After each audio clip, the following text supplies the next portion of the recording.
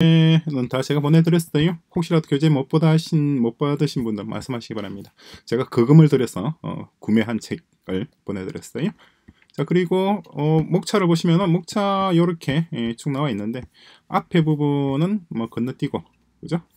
어, 쭉 건너뛰고 요 패턴 매칭이라든가 이런 것들은 다 건너뛰고 어, 컴프레션 한번 여러분들은 읽어보시기 바랍니다. 혹시 어, 엘릭서 문법에 대해서 조금 모자란다는 느낌이 드시면 읽어보시기 바랍니다. 아주 내용이 좋습니다. 잘 만들었어요.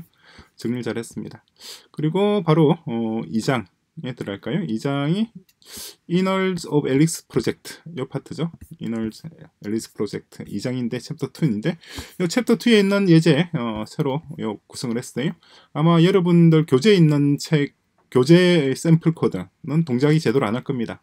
어, 그냥 요렇게 구성을 했는데 요 내용을 순서를 제가 또 말씀 좀 드릴게요. 어, 순서는 한번 그냥 적어 드릴게요. 어, 그냥 mix mix 어, from 뭐 C 여기 똥똥 돼 있는 데서 뭐라고 해야 되나요?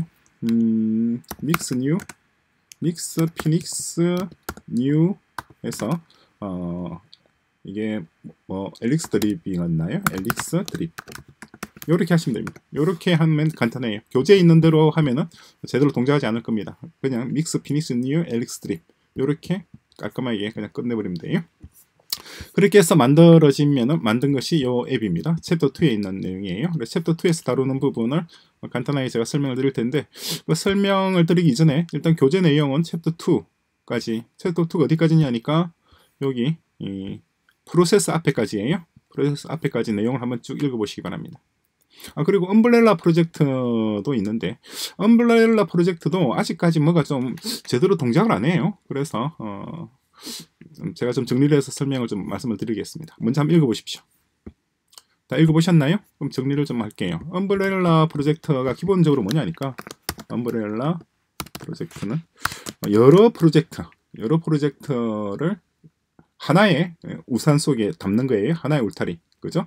그러니까 several application, application share 어, one or the same이라 그럴까요? the same dependency, dependencies. 이게 umbrella 프로젝트입니다. 그래서 어, 하나의 커다란 apps, apps 디렉토리가 있고 apps 디렉토리 속에 예를 들어서 뭐, 뭐 school 앱 있고 혹은 레스토랑 어, 앱도 있고 그 다음에 city hall 시청도 있고 등등 여러 가지 어플리케이션이 하나의 앱 속에 그러니까 하나의 umbrella 앱입니다. umbrella 앱 속에 하나의 엄브렐라 앱이죠. 원, 원 엄브렐라 앱 속에 그 속에 세브럴 여러 개의 앱이 들어가는 거예요. 그래서 얘네들 한, 한 군데 뭉쳐도는 이유가 뭐냐니까 디펜던시를 공유를 하자 이 말입니다. 그러니까 외부 모듈들을 어, 어, outsider, external 모듈들 share external 모듈 or 뭐 application 뭐 or library 요게 umbrella 앱의 취지예요. 그런데 문제는 이게 잘 동작을 하질 않더라고요. 그러니까 어, 에러들이 계속 뜹니다. 그래서 그렇게 하지 않고 어, 저는 어떻게 하느냐니까 그냥 폴더를 하나 만들어요. 폴더를 하나 만들고 어, 하나의 폴더 속에 그냥 여러 개의 어플리 several apps를 넣고 그리고 not share not share dependency 일단 dependency는 어, 어떤 dependency 그러니까 공유하지 않고 일단 앱을 다 완성을 합니다. 완성하고 난 다음에 나중에 refactoring 그래서 어, 공유할 수 있는 부분 공유하고 어떻게 어떻게 하고 이렇게 진행하는 게 더 나을 것 같아요. 그래서 우리 ABC는 어떻게 하냐니까 ABC라고 하는 폴더를 하나 만들고 ABC라는 폴더 속에 school이라고 하는 앱 들어가고 다음에 이번에 하는 것이 스트리밍이라고 하는 앱도 들어가고 그리고 조금 이따 store라고 하는 앱도 넣고 그리고 다음에 hospital 병원도 들어가고 이런 식으로 할 거예요. 어, 쭉쭉쭉쭉 해서 어, 제반 인프라를 다 독립적으로 코딩을 서로 독립적인 음, 걸로 만들고 그런 다음에 나중에 다 만들어지고 나면은 refactoring 해서 서로 공유할 수 있는 모듈들을 따로 뽑아서 어, 뭐 공유하는 모듈로 dependency를 만들거나 이렇게 하겠습니다. 이렇게 해야지 어, 에러가 없어요. 자, 그 내용이고 그래서 어쨌거나 지금은 음, 이 챕터 2에서 다루고 있는 내용 음, 음, 한번 쭉 읽어보셨죠? 읽어보셨으면 제가 한번 정리를 좀 해드릴게요. 정리를 한번 하고 끝나가죠. 그래서 Elixir Drip 지금 요거 피닉스 앱입니다. 피닉스 앱을 만들었는데 굳이 뭐 피닉스 앱을 만들 이유는 없었습니다만은 일단 그냥 한번 만들었어요.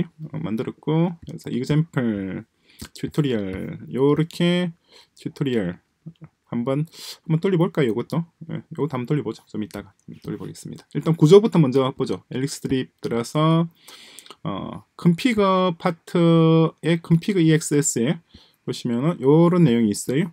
요거 요, 요런 내용이 있는데 요 내용이 어떤 내용인지 예, 간단하게 좀 정리를 할게요. storage provider, Google Cloud Storage local 등돼 있는데 지금 우리가 구성한 앱이 무엇인지 그거 내용을 좀 먼저 간단하게 얘기를 해야 될 것 같아요. 우리가 지금 무엇을 하려고 하는지 그걸 먼저 이해를 좀 해야 되겠죠. 어, 지금 하려고 하는 게 뭐냐니까 어, 어떤 외부 클라우드 서비스가 있다, 클라우드가 있다고 가정을 합시다. 클라우드가 있고 이 클라우드에 어, 사용자들이 이용자들이 어, 업로드합니다. 업로드, uploading, 뭐 파일 파일도 업로드 할 수 있다. 파일은 파일이죠. 파일이고 이 파일들은 뭐 영상, 비디오이거나 어, 혹은 뭐 텍스트거나 혹은 북이거나 등등등등 이걸 업로딩하고 그리고 또 이용자는 이걸 다운로딩해서 어딩해서 이용을 하는 겁니다. 다운로딩해서 시청을 하거나 뭐 읽거나 이렇게 하는 거죠. 그런데 어, 여기서 우리가 좀 고려해야 될 부분은 뭐냐니까 개발하는 가중 데브 개발 중에는 시뮬레이션을 해야 될 거 아니에요. 그죠? 시뮬레이션 하기 위한 simulation environment를 구성을 하는 겁니다. environment를 구성을 하고 나중에 production이 들어갔을 때는 그때는 또 production environment를 적용을 해야 되겠죠. 이걸 어디서 하느냐? 요것들을 다 config에서 한단 말이에요. config. 그죠? 지금 지금 develop 하고 있는 중이면은 develop에 맞게끔 환경을 설정하고 그다음에 production을 release일 경우에는 release에 맞게끔 설정을 한단 말이에요. 자 그렇게 설정한 것이 여기 config에 보시면 이렇게 storage provider에서 이렇게 Google Cloud local로 잡아놨어요. 그죠? 지금 Google Cloud Storage local이라고 하는 말은 기본적으로 어, 나중에 어, 요걸 쓰겠다는 거예요. Google storage의 provide의 Google Cloud의 local 여기 있는 거 이걸 쓰겠다는 겁니다. 이 파일. 그죠? 그래서 이 파일이 나중에 뭐 상용 버전일 때는 상용 버전에 맞춰서 코드를 구성할 것이고 어, 개발 과정에서는 개발 과정에 맞춰서 그렇게 코드를 구성을 하는 거예요. 어떤 의미인지가 되시죠? 해서 내용을 보시면은 일단 behavior이라고 있어요. behavior의 storage provider에서 behavior 쓰고 있는데 이 behavior 개념은 아주 중요합니다. 프로토콜하고 어, 그래서 프로토콜과 behavior 이 개념은 한번 behavior behavior이 이 스펠링이 영국식이에요. 그죠? 영어 미국식은 그건 u가 없잖아요. 이렇게 u를 넣어서 쓰더라고요. 그래서 얘는 어 어떤 알고리즘이죠. 뭐냐니까 음, 특정한 모듈, 어떤 모듈, 그러니까 어떤 서비스를 제공하고자 하는 모듈이 당연히 어, 지켜야 할, 임플멘트 해야 할 펑션들을 지정하는 것. 그죠? 어, designate라고 그러니까 designate functions to be implemented. Implemented by some module. module. 어디요? which want to provide a specific service. 특정한 서비스를 제공하고자 하는 서비스. 특정한 서비스를 제공하고자 하는 모듈들이 어, 임플멘트 해야만 하는 펑션들을 지정하는 것. 그것이 behavior입니다. 제일 대표적인 게 젠서버예요. 그죠? GenServer. use GenServer라고 하게 되면은 use GenServer 우리 많이 쓰잖아요. 할 때는 GenServer라고 하는 요 behavior이 이 제공하고자 하는 서비스, 그 서비스에 맞는 function들을 implement 해야 됩니다. 그, 그것이 start link가 있었고, 그리고 또 뭐가 있었나요? 이닛이 있었고, 그리고 handle call이 있었고, call, 뭐 handle cast 등등등이 있었죠. 요게 다 behaviour이에요.